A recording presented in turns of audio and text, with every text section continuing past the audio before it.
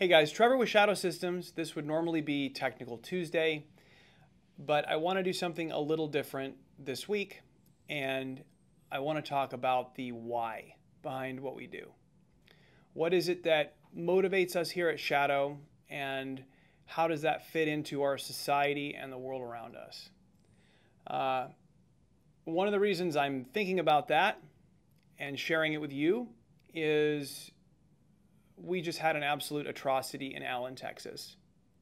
There was a mass shooting there, and this, by the way, is a place where uh, we have many staff members and their families living, where their kids go to school. Uh, so when something like that happens very close to you geographically, you kind of feel it more, you, you think about the impacts more. And as a gun company, uh, it's also true that when there's a mass shooting, we get vilified by the media and others. Uh, when some maniac goes out with a weapon and kills a bunch of innocent people, it's kind of laid at our feet. Uh, I may not agree with what you say, but I will defend to the death your right to say it. So, those who have opinions which differ from mine, they're entitled to those opinions and that's okay. Uh, but from our perspective here at Shadow, we think of ourselves as more a potential solution than a part of the problem. What motivates us is this idea that we are producing firearms which will empower people who are responsible and trained to defend themselves and their fellow human being and God forbid, circumstances like like that.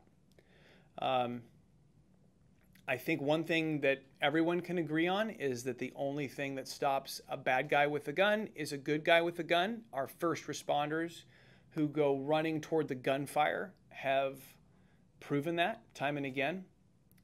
Uh, so, ironically, we see ourselves as part of that solution. And look, carrying a gun in society is not for everybody. And for those poor people who were victimized, killed on a Saturday at the mall with their families, I don't fault them for not having a gun, okay? It's the maniac that's the problem there. Um, but for those that decide to carry a, a firearm in society and do it responsibly, uh, it's our sincere hope that you're a resource and an asset and that you can bring quickly to a close one of those horrible situations. Uh, by the way, it is also true that you can be a liability with a firearm, even if you are trained. And I'm not advocating that anybody go running into a gunfight. Okay. Uh, the, the principle of, of run, hide, fight in a mass shooting, that, that doctrine I think is generally valid, maybe even if you are armed.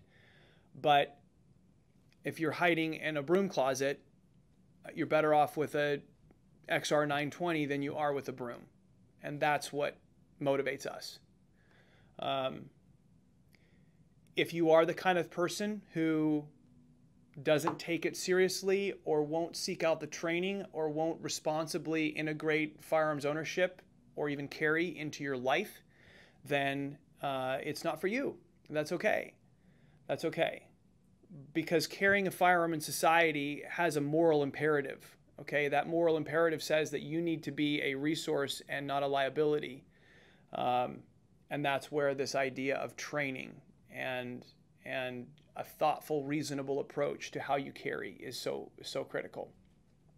So uh, that's what motivates us. That we can empower a person to defend themselves and their fellow human being in circumstances that we hope they never encounter. Naturally, our thoughts and prayers are with the victims and their families in Allen, Texas, and uh, I would ask that they be in your thoughts and prayers too.